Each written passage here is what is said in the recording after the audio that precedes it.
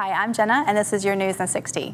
Join us for all of our Easter celebrations at Broad Street. Wednesday, March 27th, we are going to have a matzo ball soup for dinner, and then join us for we're going to hear about the Jewish tradition of the Passover Seder. And on Thursday, March 28th, join us for Maundy Thursday service. We'll be celebrating the Lord's Supper in the sanctuary at 6:30 p.m. And then Friday, we have our Good Friday Tenebrae service on March 29th at 6.30.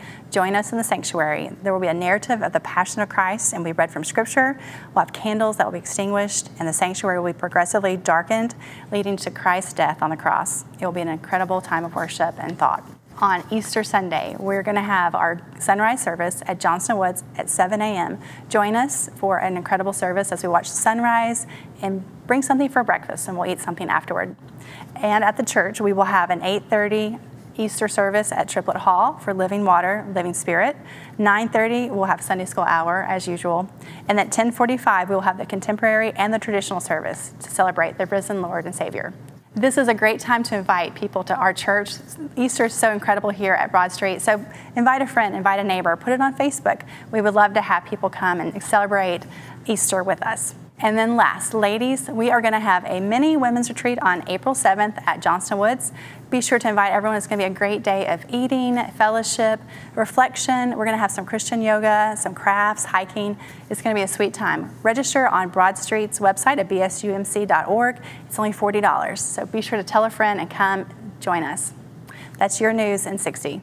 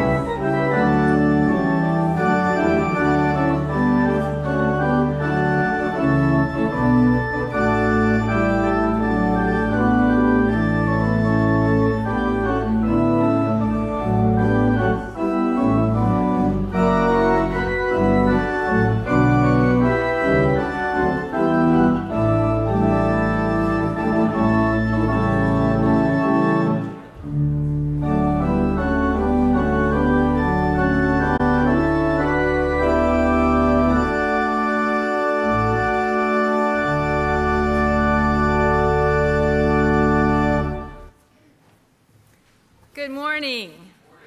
It is a happy Palm Sunday, and it actually sounded like a parade today as we gathered, and I was listening to you. It sounded happy and joyful, like it, will, it was on that Palm Sunday long ago when people waved their palm branches and put their coats in the road and welcomed the King and said, Blessed is he who comes in the name of the Lord. My name is Mary Ketchersid, and I'm one of the directors at Unity Center, which is our outreach ministry in East Cleveland. And I do welcome each of you on this Palm Sunday and those that will be worshiping or are worshiping with us online as well. Here in the sanctuary, there is a red attendance pad at the end of your pew. Please take that and take time to register your attendance. Uh, even if you've been a, been a member here for a long time, or if you're a visitor, and if you're a visitor, please put that extra information on there so that we can contact you this week. Um, this week is Holy Week. Palm Sunday is the beginning of Holy Week, and there are special services that are be conducted throughout the week. Please take a minute to look at the back of your bulletin, and those are listed there, and the times that they will be held and where they will be. And now, I invite any children that are in the sanctuary to go to the narthex right now with your palm branch and be part of the palm processional that's going to be taking place in just a minute. And if you are older than five or six or seven or eight or nine or 10 and want to be part of that processional, you are welcome too because we are all children of God. Now, I want to invite you all to stand together as we read our call to worship responsively.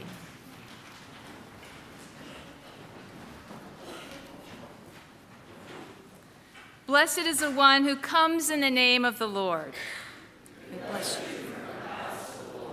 The Lord is God, who has given us light.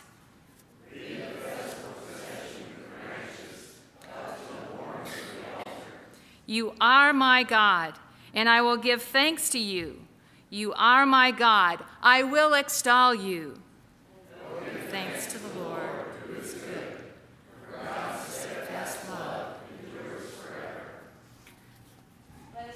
together in our opening hymn, All Glory, Laud, and Honor, and be sure to wave your palm branches high.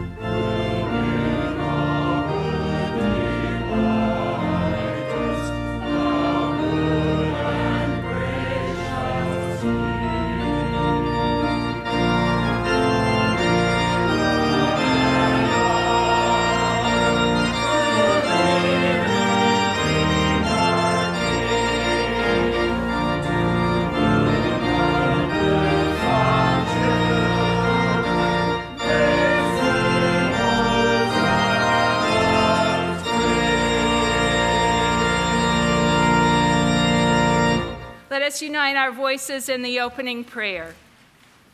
Almighty God, on this day your Son, Jesus Christ, entered the holy city of Jerusalem and proclaimed King by those who spread their garments and palm branches along the way. Let those branches be for us the signs of his victory, and grant that we who bear them in his name may ever hail him as our Lord and follow him in the way that leads to eternal life. In his name we pray.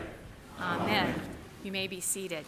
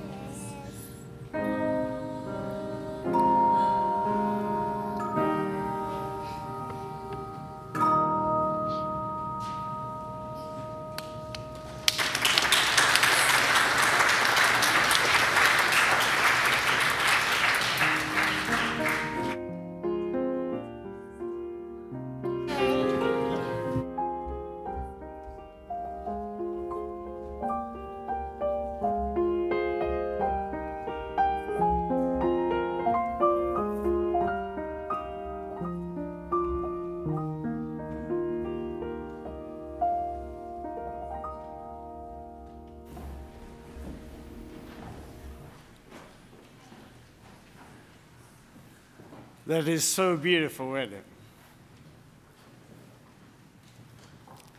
One of the great gifts we have uh, in this relationship that we have with our Lord and our God is that we get to share. He invites us into this conversation. He invites us to pray, and that's what prayer is, isn't it? An opportunity not only to speak our heart to God, but for us to quieten our soul, our minds, and the busyness of ourselves, and listen and hear the word of our holy Lord, our God, our Redeemer. So let's go to God in prayer at this time. Oh Lord, you've called us out You've called us to step into this special relationship with you, to, to open ourselves up to you, to not just pour out what is going on in us and about us and around us, but that we might hear not only who you are and who you call us to be and to become. Lord, we learn by not only talking, but by listening. And so in this time, we want to hear you. We want to open ourselves up to that message of grace, that message of life, that we might know you both as Redeemer and King. We might know you as the one who leads the procession and the one who guides the individual, the one who gives us a glimpse of glory, and know you as the one who speaks to us that still small voice that sustains us when we hit rock bottom. Thank you, Lord, for being our God of all of life, not just the glorious times, but all times. Thank you, Lord, for not just carrying your name, but being someone who has the opportunity to follow you and to walk where you have walked and to take the words of life and be a, not just a guardian, but one who transfers and passes them on to others. Allow us to take that holy appointment and allow us to use it well as we share good news, as we share hope, as we share a message hear our prayers as we intercede for a world that needs a true king, a true leader, one who has solutions rather than simply creating more problems. For one who speaks peace, but speaks a direction to go and with purpose. Bring us together, Lord. Show us your way that we may lay aside our own selfish ambition and to take up that cross that you freely share. Take this service, Lord, and accomplish what you wish. And may we freely accept what you call us to be about and move in that way that leads to life eternal. All this, Lord, we seek you, the King of Kings. And we pray in the manner in which you continually teach us in saying, Our Father, who art in heaven, hallowed be thy name. Thy kingdom come, thy will be done on earth as it is in heaven. Give us this day our daily bread, and forgive us our trespasses, as we forgive those who trespass against us. Lead us not into temptation, but deliver us from evil. For thine is the kingdom, the power, and the glory forever. Amen. It is a wonderful thing for us to share how God is moving and working in our midst, the ways in which God uses us to make a difference in the lives of other people, both with our faithfulness, with our giving, but also our faithfulness in giving of our abilities and talents. Barbara has a wonderful testimony to share with us, and I invite her to come and talk about one of those powerful ministries that you'll have an opportunity to be a part of.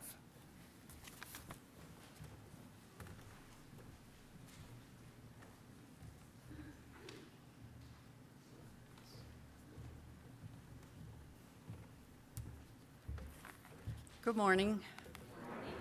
My name is Barbara Whitney, and I've come in front of you today to talk about a new class that is starting at Broad Street Methodist called Journey Through Grief.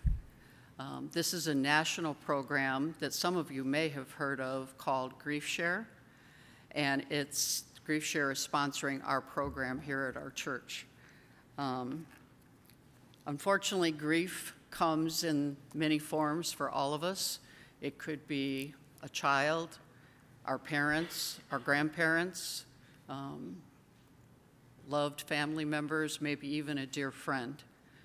And I think I would ask you if you've experienced grief in your lifetime to just raise your hand because it is kind of a universal thing that we all deal with. For me, it was my spouse.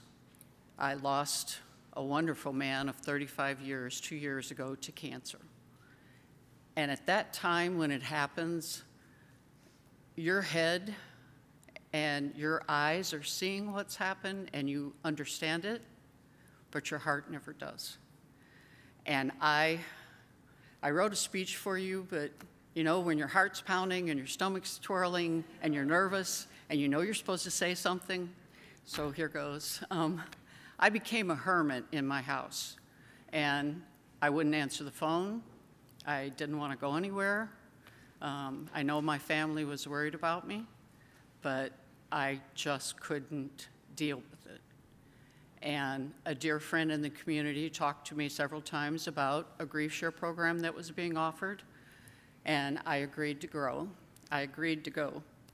Um, she took it a step further, and she had another friend who had lost their son, and she was going to the class and she asked her to meet me outside and even sent her a picture of what I looked like because she knew that I would probably back out. And she was right. Um, but I will tell you honestly, Grief Share saved my life.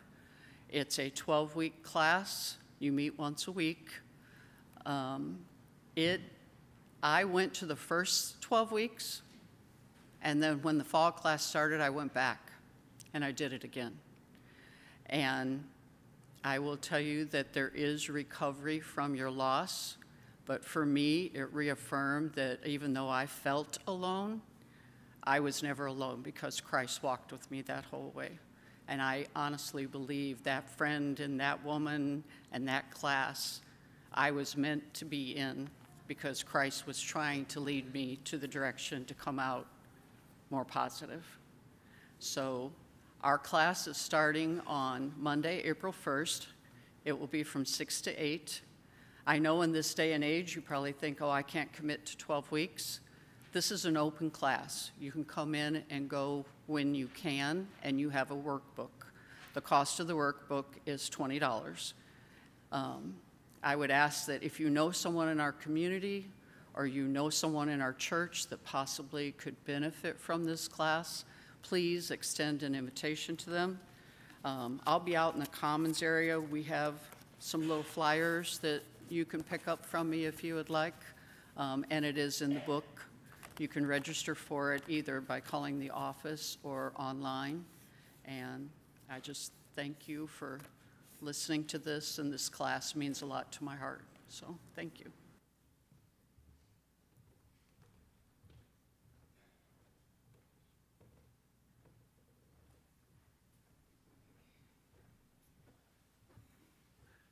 Thank you for sharing, Barbara.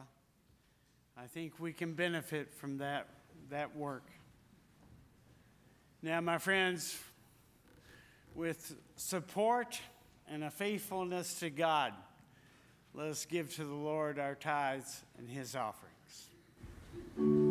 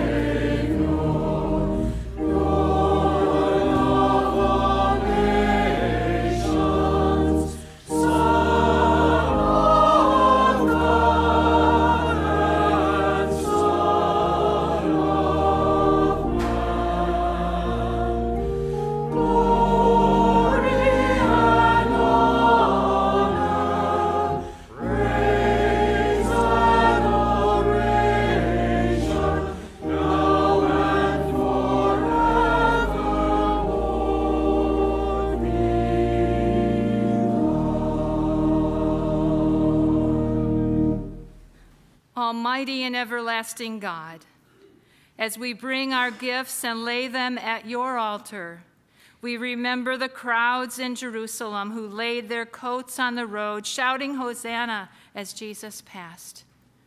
We know Jesus, the Messiah, came in compassion and mercy to heal and love and save. May these gifts, and yes, our very lives, be used by you to heal and love in a broken world. In the name of your anointed one, Jesus Christ, we pray. Amen. If you will remain standing, please, as we hear God's word for us found in Mark chapter 11, verses 1 through 11. As they approached Jerusalem and came to Bethphage and Bethany at the Mount of Olives, Jesus sent two of his disciples, saying to them, Go to the village ahead of you, and just as you enter it, you will find a colt tied there, which no one has ever ridden. Untie it and bring it here. If anyone asks you, Why are you doing this? Tell him, the Lord needs it, and will send it back here shortly. They went and found a colt outside the street, tied to it at a doorway. As they untied it, some people standing there asked, What are you doing untying that colt? They answered, as Jesus had told them to, and the people let them go. When they brought the colt to Jesus and threw their cloaks over it, he sat on it. Many people spread their cloaks on the road, while others spread branches that they had cut in the fields. Those who went ahead and those who followed shouted, Hosanna! Blessed is he who comes in the name of the Lord. Blessed is the coming kingdom of our father David. Hosanna in the highest. Jesus entered Jerusalem and went to the temple.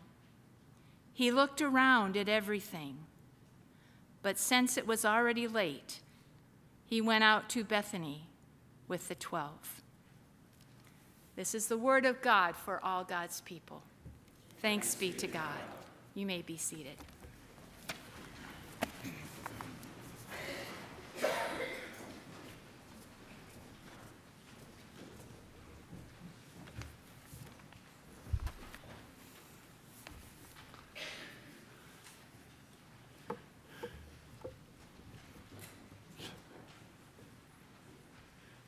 I have that effect upon people.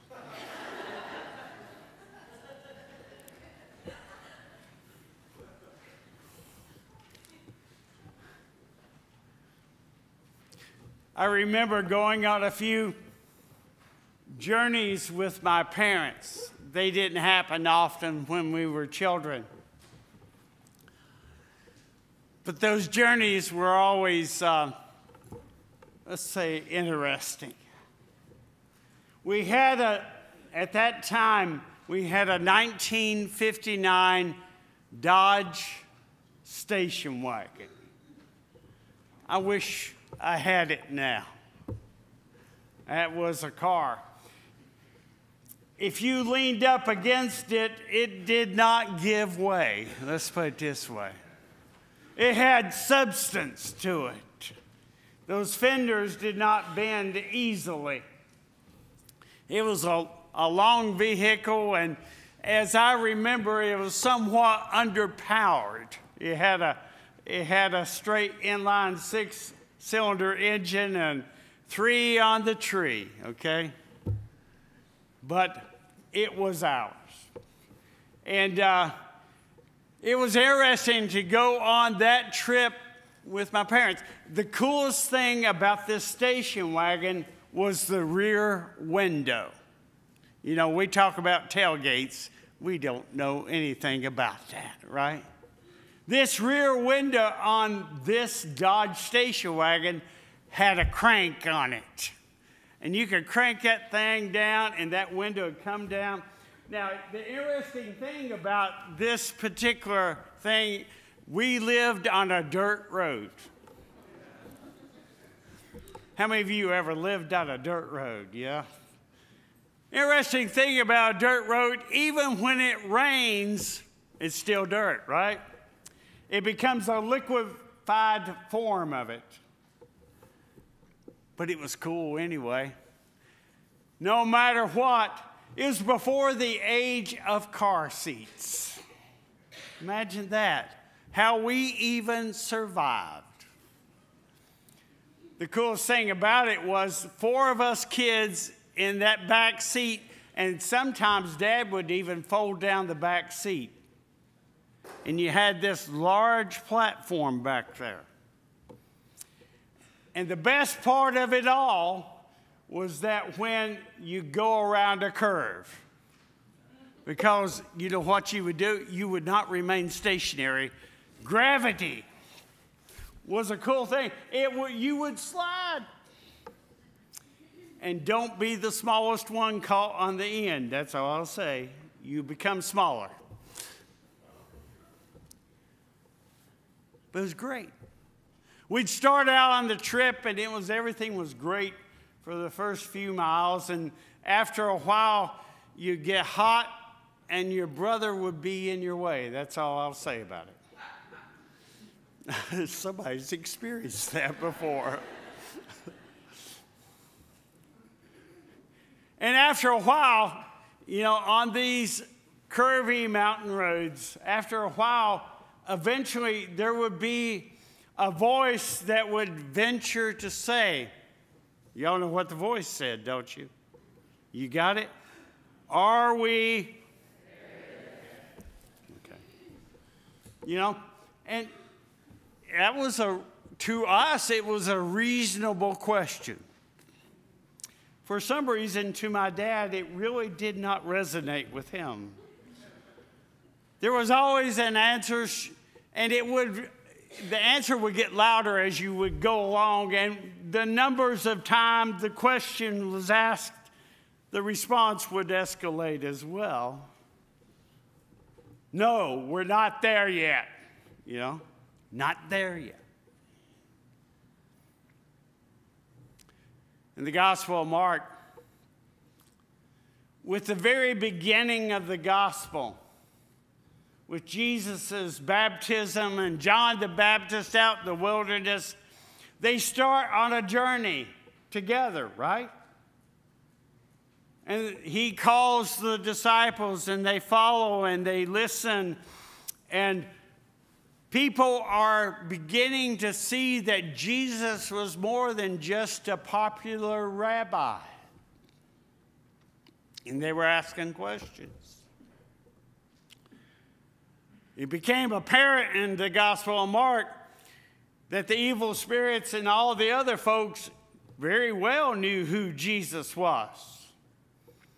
And when they encountered or ventured to say anything about it at the first, what would he say? Shh, not yet. Shh, not yet. As that journey continues and it picks up some speed and it escalates and things are happening and they, they come to a particular pivotal point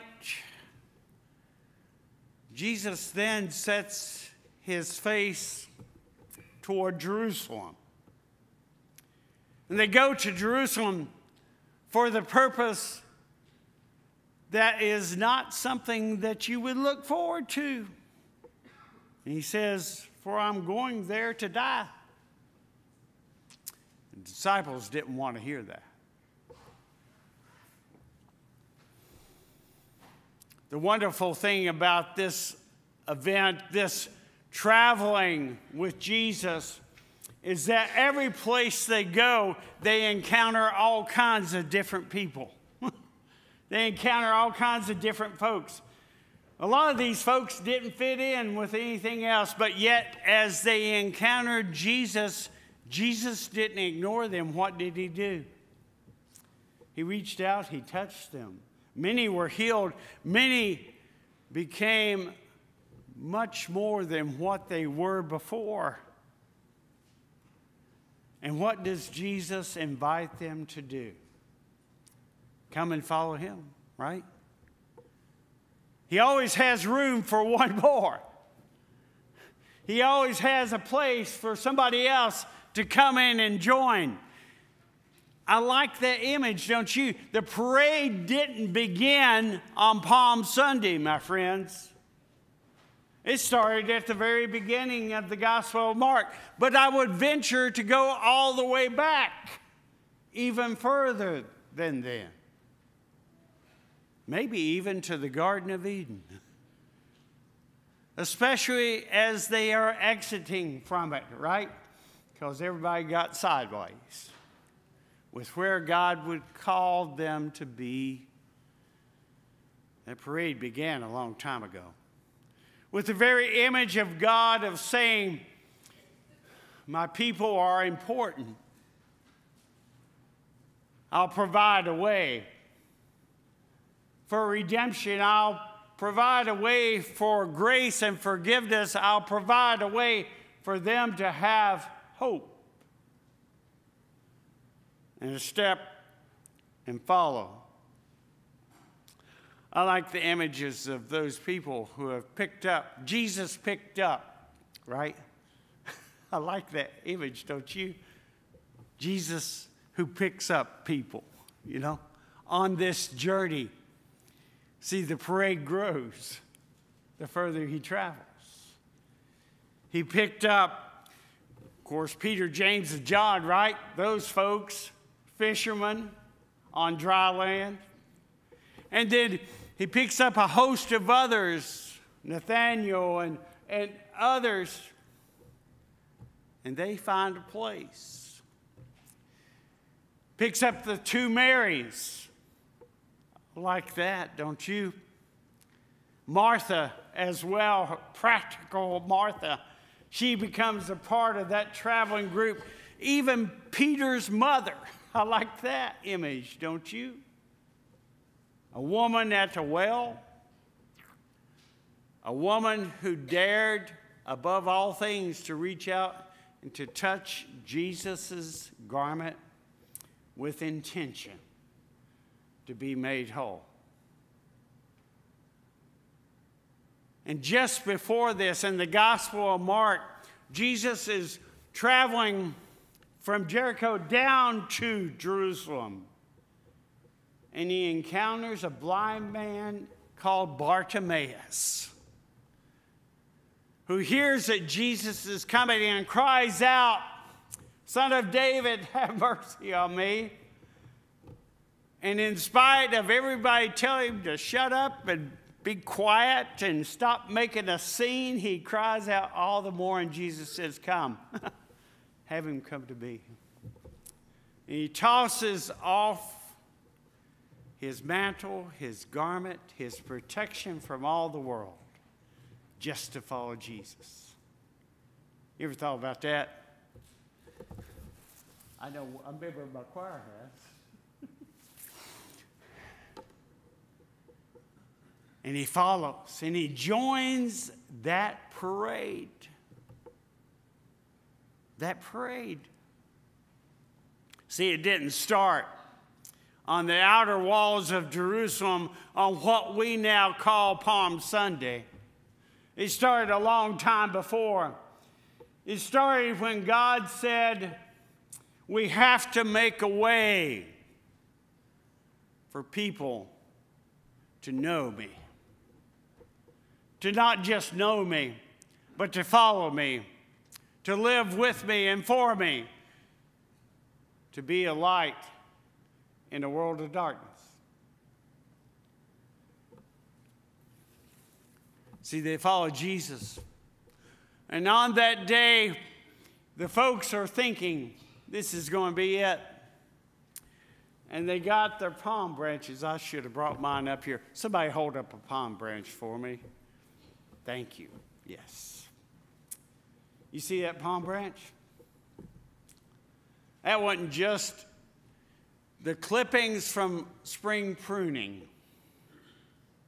It was a symbol of the people of Israel. The money that is used within the temple courts to purchase the sacrifices, do you know what is on the back of that coin? It's an imprint of a palm branch. You got it? Do you understand what that means? It's a part of their identity. It's who they are.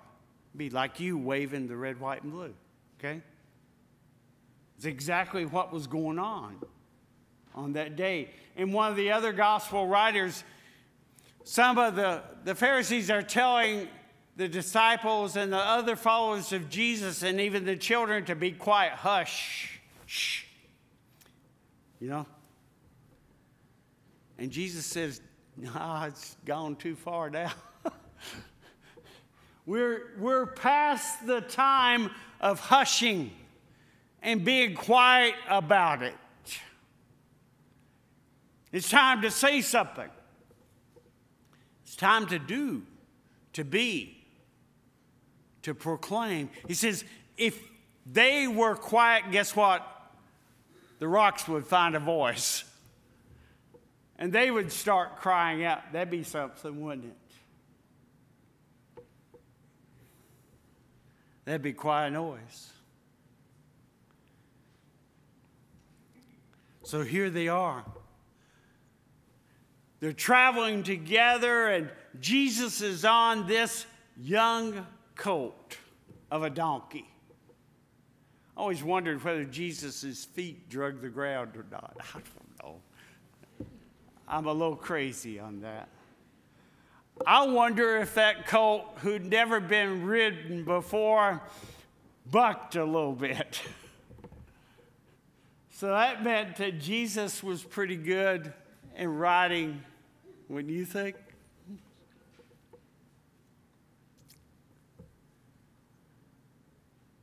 And there, in that image given by the Old Testament prophets of the King of Kings, the God of glory, King David's throne to be brought up and claimed again.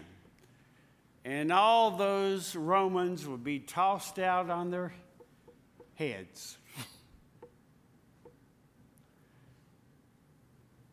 and life's going to be better.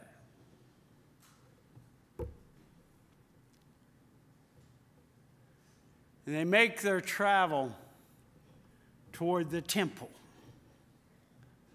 Toward the temple. And everybody's saying, Hosanna. Yeah, we knew he was that one. We knew he was the one. It's going to be good. It's going to be great. Growing up where I did, coal fields and with one of the things, other than coal mining, the way in which folks made a good living was by working for the railroad. And some of y'all have some connections with that, with the railroad. Always fascinated by those. I didn't grow up in the, the age of the steam engines, but once a year we would have a steam engine, and it was around Christmas. And I won't, that's another story for another time. But I grew up with the diesel locomotives. You know what those are like. They still use them today. Every once in a while around Cleveland, if you're quiet enough and the sirens quieten down a little bit, you can hear those rumble of those locomotives, of those engines.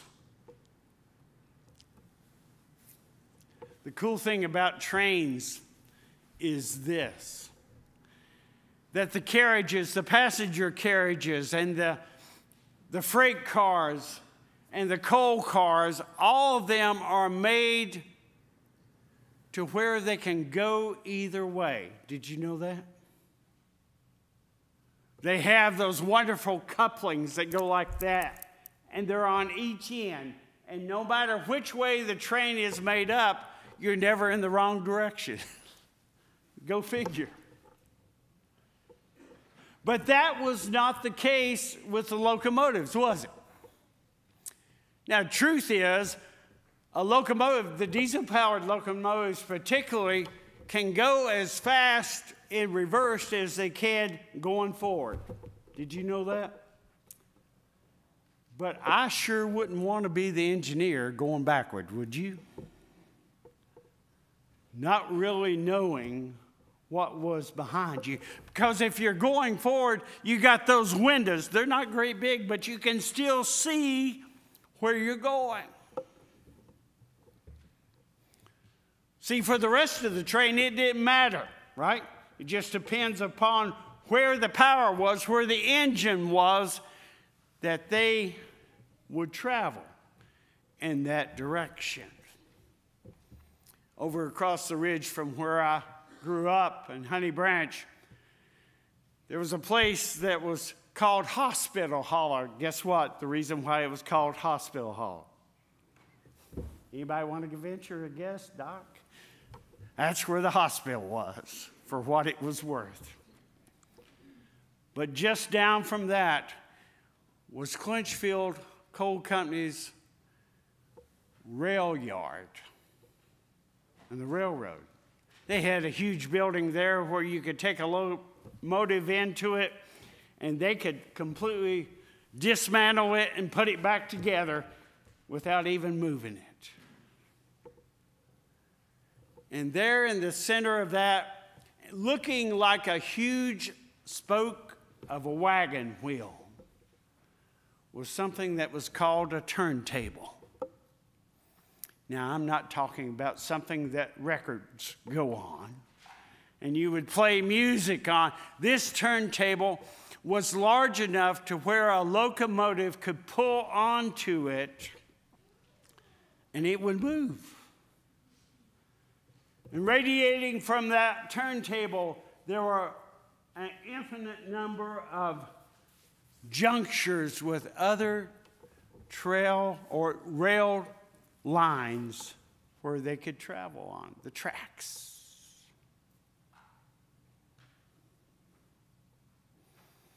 as Jesus has been moving along through the Gospel of Mark, moving his direction, intentional purpose toward Jerusalem, it's been kind of like a train, right? It's building momentum. I don't think there was any click clacks in that, but there was a whole lot of noise in different ways and times. Lives were changed, transformed. People's visions and dreams were changed, corrected, or irritated, either way. Jesus has brought them along. And here they are on this track, on this direction. And he's going to go to the temple and proclaim that he is the Messiah. He's going to climb up into the temple at the point of announcement, the pinnacle of the temple, and say, and they're going to blow the ram's horns and they're going to say, He's here, it is, celebrate. They do all that and they're crying, Hosanna. And the ticker tape, the palm branches are flying. And Jesus says, Let's go on. And they go to the temple courts. And the disciples are saying, Yeah, he's going to do it. He's going to do it. He's going to do it climbs up the steps to the temple courts. He walks into there, and as Gospel Mark says, what's he do? He goes in there, he looks around at what was going on, and then he turns around and says to the disciples, says, It's been a good day. It's late, let's go home.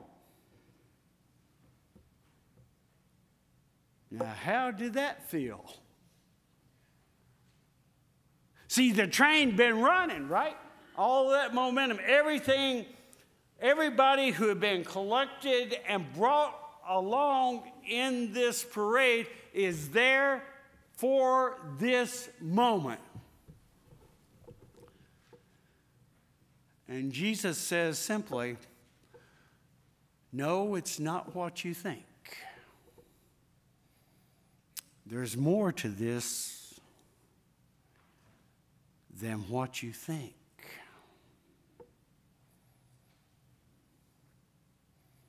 How many times do we say to God, God, I have a good idea of where this is going and what we're going to do and how it should be. Let me guide you. Let me tell you what it should be. Every time I've done that, I just I just knocked over a bunch of stuff. People in my Bible study don't sit close to me. They say that's the danger zone right there. But as they're moving into it, Jesus says, It's not what you think, it's more.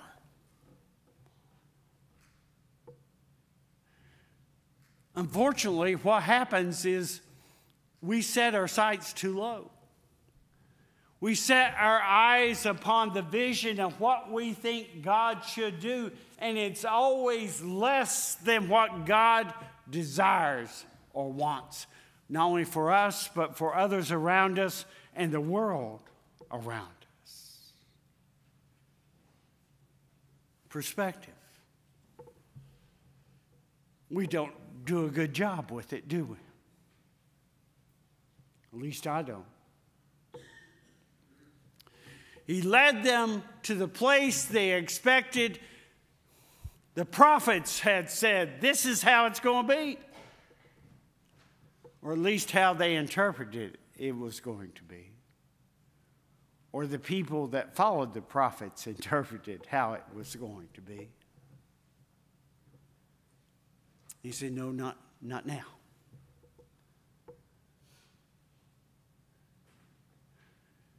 And everybody kind of like, it was, it was like a, a birthday balloon the next day. Y'all know what a birthday balloon looks like the next day? Either it has lost the helium or it is in pieces on the floor, okay? Either way, they're kind of deflated.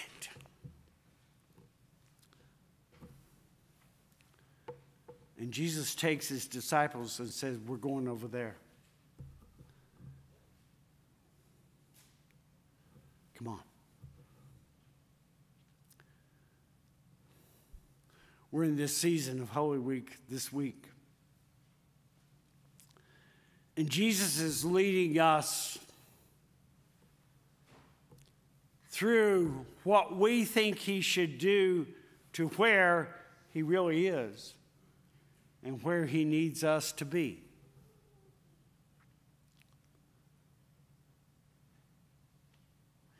Here's the cool thing about it.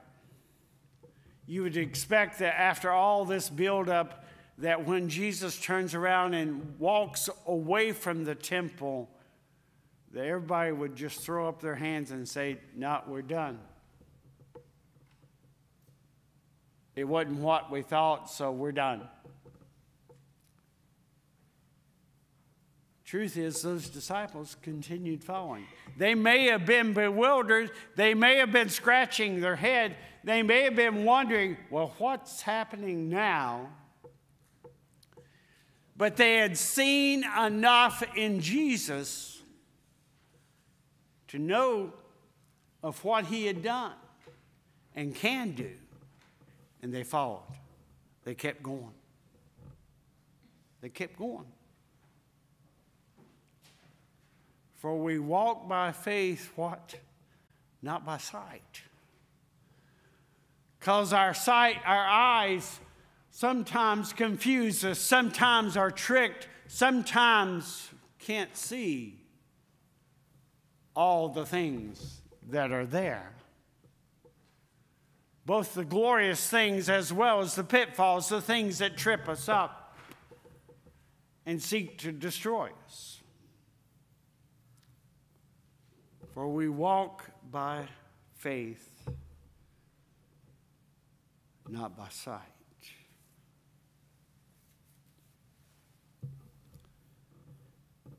And he gathers them around him and he goes. And where does he go? The other gospel writers say that he went to a garden called what? Gethsemane. The Mount of Olives. Here's the cool thing about the Mount of Olives it's taller than the Temple Mount. Did you know that? About close to 300 feet. And in that place, you have a perspective that is different than where the temple is. And it was there Jesus went to pray.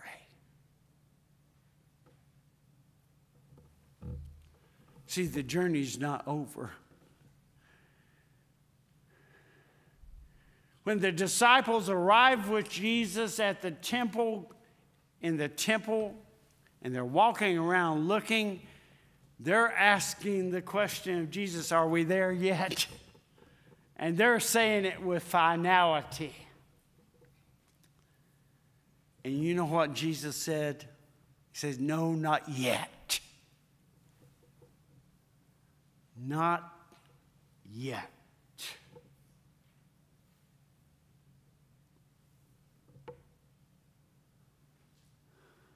How do we receive our Lord and our Redeemer when He says, No, not yet?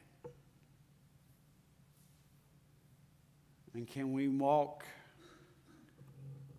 and follow Him in faith to a cross? Let's pray together. Lord, you know our needs.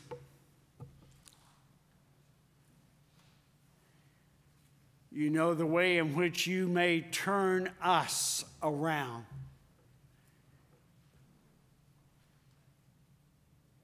And that you might be the power and the strength of our souls, of our lives and pull us to where we need to be.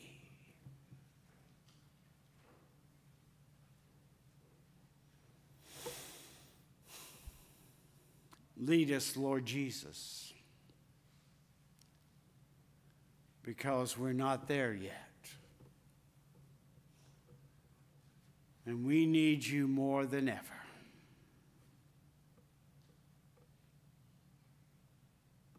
Amen.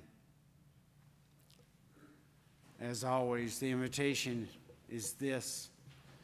If you're struggling in your faith, you're not in bad company. if you need a pastor to pray with you I'll be glad to, and we'll pray together. Wherever the need, the altar is available, or you can make that pew an altar to seek the direction and the guidance and the strength of our Lord, our strength, and our leader. As we stand to sing our closing hymn, 301.